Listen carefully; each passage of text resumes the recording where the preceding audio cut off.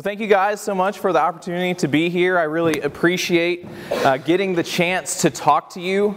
I want you to know right off the bat that uh, throughout this week, uh, if there's anything that I can do to help you, uh, to be there for you, that I am excited and happy to do that. Um, a lot of times you might uh, just see me speaking in here or being totally silly eating meals with you guys and things like that. But if you actually um, want to talk about something or um, what, however I can help you, please let me know. Um, and I also wanted just to start out by saying thank you for the opportunity. I understand that you guys have the chance to hear a lot of important messages and you have the, the chance to, to dig into God's Word on your own. And I want to tell you guys that I'm not here this morning to share with you because I am wiser than you. I'm not here to share with you because I know more than you do. I'm here to share with you because I care about you guys and I want to see God do great things in your life. So I appreciate the chance. And, and with that kind of in mind, I just want to jump in. If you have a Bible today, we're going to eventually get to 1 Samuel chapter 17, so you can turn there now and kind of be, be ready for that. But I want to begin this morning just by pointing out something that's obvious and clear for all believers, and that that's, that's that we're people who are in a battle. You are in a battle. You might not realize that. You think you're going to sitting down, chilling, relaxing, just trying to stay awake. But um, life, this life that we live, in the sense of our faith, is often a struggle, a battle, something that, that we are fighting within. Scripture tells us in 1 Timothy fight the good fight for the true faith, hold tightly to the eternal life to which God has called you, which you have declared so well before many witnesses. Ephesians 6 says, A final word be strong in the Lord and in his mighty power. Put on all of God's armor so that you will be able to stand firm against all the strategies of the devil. For we are not fighting against flesh and blood enemies, but against evil rulers and authorities of the unseen world, against mighty powers in this dark world, and against evil spirits in the heavenly places. And 2 Timothy says, Endure suffering along with me, as a good soldier of Jesus Christ. Soldiers don't get tied up in the affairs of civilian life for then they cannot please the officer who enlisted them. And so it's clear uh, throughout Scripture that one of the themes is that we are fighting a battle. This is common. We, we are um, in a struggle in some way for our faith in our life. And I want to kind of dig into this by looking back into one of the most famous battles uh, in the Bible because we weren't the first people to fight a fight. So, if you guys will, with me, just step back in time. Feel the despair, the heat of the sun, the cold sweat. Take a deep breath of dusty air. Listen. Birds are crying, armor is clanking, teeth are chattering, not from cold, but from fear. Listen. The deep rumble comes out. Will you cowards fight me? Where is your champion? Send out the one who will challenge me. Look. No, look up. The giant is stalking out between enemy, enemy lines, between our armies. He's taunting us. And this giant, of course, is Goliath. And we've heard his challenge for a long time now. We've memorized his insults. We know that he thinks that we are worms, and worse, we know that he thinks our God is a myth. He thinks our God is a joke. He thinks that our God is a toothless tale told to make Israelite boys feel better when they're afraid at night. Look at him. He is a champion. He's over nine feet tall. His spear can go through any armor. His, army, his armor is completely impenetrable. He is unstoppable, and no one can match him. No one can even reach him. And all of us are bound to either die at his hands or to become slaves to his people. And he laughs while we cry. And he strolls around with confidence while we run with fear. Where is our champion? Where is our hero? Where is the person who can save us? Now, we can see as we look back on this very famous story of um, David and Goliath and what was going on uh, with, with the Israelites at this time that they needed a champion. They needed somebody to fight for them. And the culture of battle back then was a lot different than it is now. Uh, they would have oftentimes uh, somebody who would be called a champion, which really is just this idea of a man who would go out and stand between the two armies. He would stand between the two, two camps, and they would have one on one single combat uh, just to see who was going to win. Each army would send out their best person, and they would make an agreement, and based on who would win, would represent which army was going to win. And the idea is simple. Instead of these two armies going all out and people dying and, and just it being a, a horrible situation for everyone, each army entrusted their fate to one mighty man, a whole nation riding on the back of that person. And they would do battle with everything on the line. One representative to fight for everyone. And I want you guys to picture it. If you have a, a your Bible open, uh, 1 Samuel 17, we're going to start in verse 8. It says, Goliath stood and shouted a taunt across to the Israelites. Why are you all coming out to fight? He called. I am the Philistine champion, but you are only the servants of Saul. Choose one man to come down here and fight me. If he kills me, then we will be your slaves, but if I kill him, you will be our slaves. I defy the armies of Israel today. Send me a man who will fight me. And when Saul and the Israelites heard this, they were terrified and deeply shaken. So, why were the Israelites, why was King Saul chosen by God so, so shaken? Because they had no one who could compare to Goliath. They had no one who could challenge this experienced warrior who was over nine feet tall. Goliath was bigger, Goliath was stronger, he was better equipped. He seemed invulnerable. He seemed unstoppable, and everyone knew what was going to happen if someone went out there and fought him. There was no question. Goliath was going to win. There was never a doubt. He was going to prevail. No question in anyone's mind. And in the midst of this big nat- national disaster, a boy arrived on the scene with a load of bread and cheese, the Bible says. And he's kind of like the coffee guy who's, who's back from a run for his people. He's, he's brought sandwiches for the army. And you can imagine his experience. He's excited to see his brothers. And so, so little David arrives at the army encampment just as they're about to head into battle. He is, he is pumped up there's drumming and there's shouting and there's the clank of metal swords and the mighty men are, are picking up their shields and lining up and they're moving forward and David is ready. He's ready to see God rescue his people. He's ready to see people in faith step out and, and challenge an enemy who's defying the Lord. But then it happens. Everything unravels. The mighty men who were marching out a moment ago turn into cowering little children. They're turning back before even a single sword is drawn. They're fleeing. Why? Why are they running away? Because Goliath has started to taunt them again. He's still going. And who knew that the words of a giant could turn back more people than his spear or his sword? And David is taken aback. He's shocked. He asks some of, of the people who are there who had been fighting for a while, he says, why, why is this happening? And the men reply, Haven't you seen this giant?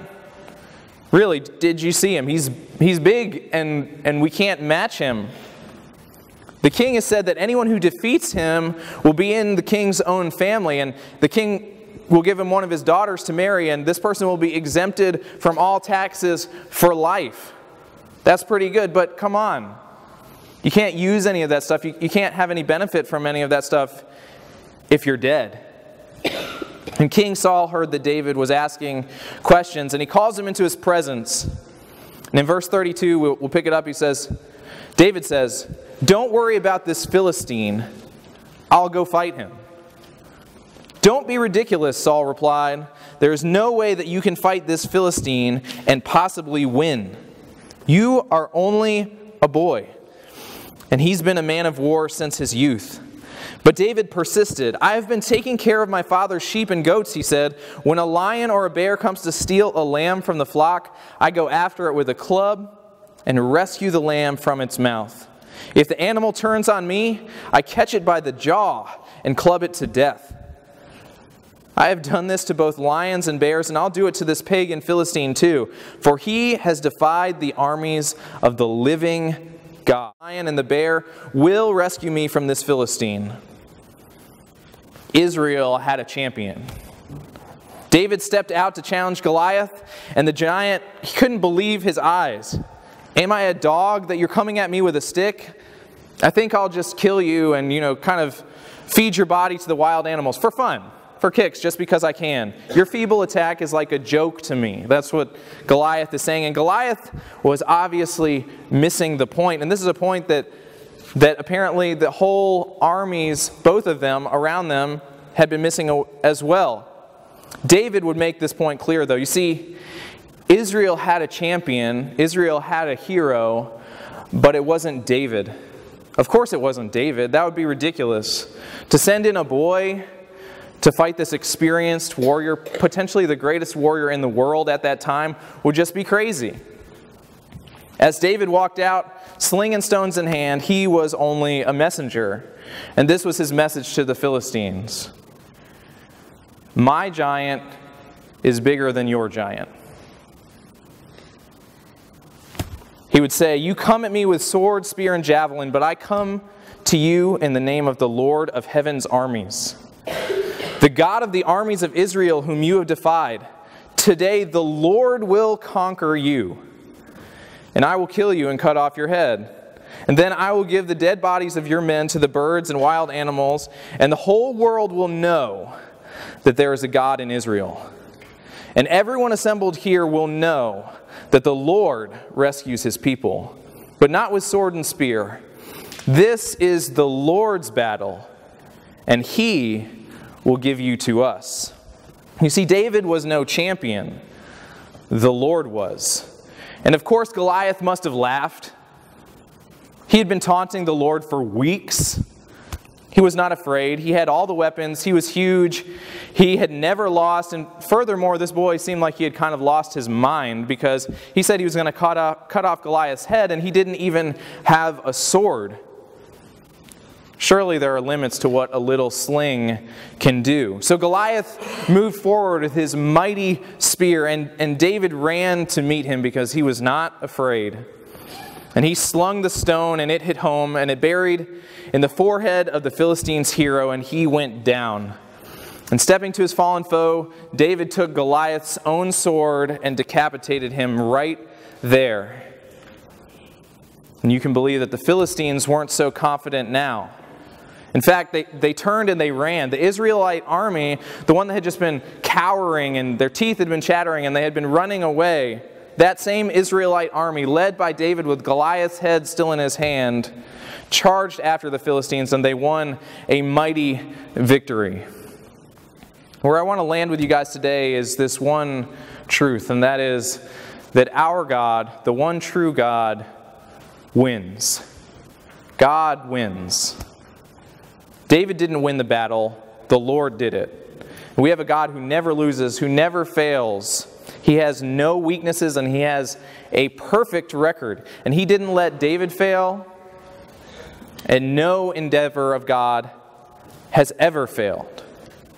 So if we step back onto the battlefield for a second and picture it again in our mind, picture again what it was like to be trembling and afraid because a mighty enemy is threatening you. If it feels familiar, it's because we have all been there. I don't mean we've all been to Israel. I mean that we've all had an enemy that was too strong for us. We've all had an enemy that we could not defeat. We have all had sin. We've all had Satan taunting us and saying, Death is coming. There's no escape. You are my slave. I own you, and there's no way out. And in David's story, unexpected salvation arrived. When David came With bread and cheese, no one saw it coming, and in the same way, our Savior came into a stable. David carried a sling, and our Savior carried a cross. And like David, our Savior defeated enemy, defeated his enemy, our enemy, the enemy, with his own weapon. Goliath had threatened David's uh, people, God's people, with his sword, and our enemy has threatened us with the fear of death. But just as David cut off Goliath's head with his own sword, our Savior used death to bring us life. Our champion stepped into the gap to represent us. He has fought for us, and he has won. And now it's time for us to move forward. Just like what the Israelites did, the time came for them to move forward, and they did. When Goliath was defeated, they didn't just say, Oh, good, I'm so glad for that. The army that had been so shaken was transformed into a confident force, a strong group that overtook the enemy with reckless abandon. The battle had already been won when Goliath was defeated, and everyone knew it. And so they were able to move forward with confidence. They were, they were able to move forward without any doubt because they had seen the champion come through. And the same thing is true for us. Jesus has won, He has done it.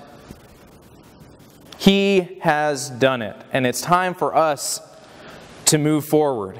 We don't need to be afraid about wildly following the Lord wherever He will lead because this is His battle. Was it crazy for a shepherd boy to challenge a mighty warrior? It would have been.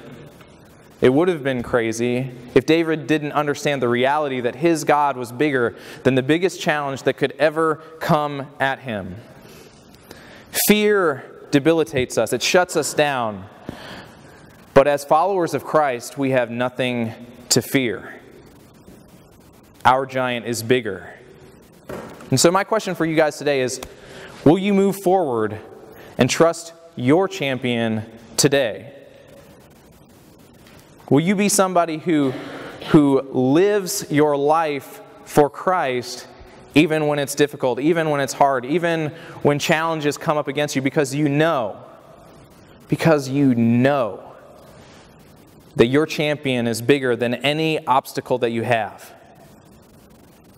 If you're afraid to let go of a sin, recognize that you don't have to be. Jesus has conquered that fear. If you're afraid to obey and to follow where God leads you, recognize that you don't have to be. You have a God who is worthy of following. Are you afraid to really sacrifice something, to give up, to follow the call of God? Recognize that following the one who wins guarantees that you will also win. Whatever you are afraid to do, whatever you are afraid about, whatever you are struggling with, recognize that you have a champion who represents you. One of the ways that the Bible talks about Jesus is it calls him uh, not just our, our, champion, not just our hero, but our, our high priest. He represents us to God in every way. There is now no reason for us not to fully trust him, follow him, and live for him. In fact, in Exodus 14, the Bible describes God saying, He is a warrior who fights for his people. The Lord Himself will fight for his people. And if you are one of his people, if you are his child, and the book of First John says that, you know, we recognize the great love of God that he has poured out on us, that he has just overflowed onto us because he has called us his own children. And that is exactly who we are if we're in a right relationship with Him. As God's children, you have a champion that puts you in a position to never fear. God has won. The undefeated champion is on your side. So fear has no place here. So think about what your life would look like if you fearlessly followed the Lord, your champion, your hero, like the Israelites followed David. Think about uh, what you, the young church, would look like if you fearlessly followed the Lord who has already won into every arena that appears to be contested around you? What would it be like? The champion has won. The opportunity is here for you to follow him fearlessly. One of the saddest things about the story of David and Goliath is that God's people, for so long, stood there shaking in their boots, trembling, afraid because there was someone out there who was threatening them, who was challenging them, who was coming up against them. When at any time had they put their trust in the Lord and recognized that God was on their side, that they had a hero who will never lose, things could have been different. But there's something so encouraging about the fact that he used David. That someone who wasn't a mighty warrior, someone who didn't have everything all together, someone who, who hadn't perfected the art of war, God used him to win this mighty victory. And I would encourage all of you, I would challenge all of you to consider what is keeping you, what is holding you back from trusting God to truly be your champion, to truly be your hero who leads you in every area of your life? And what is stopping you from believing that He truly has already won the victory? Much for your gospel. We thank you that you paid the price on the cross, and we thank you that now we have nothing to fear if we are in you. We ask that you would lead us. We ask that you would guide us. We ask that you would deepen our faith and joy in you. And God, help us to see you for who you really are. That would change our view of this world because we recognize that there is nothing here that is hard for you. God, help us to press in close to you to know you well, and help us to follow you closely so that wherever you lead, we'll be there as well. Give us courage to be your people, not shaken and concerned and broken by whatever this world throws our way, but confident and joyous and expectant because we know who you really are, our champion. And it's in Jesus' name that we pray together. Amen. Thank you all so much.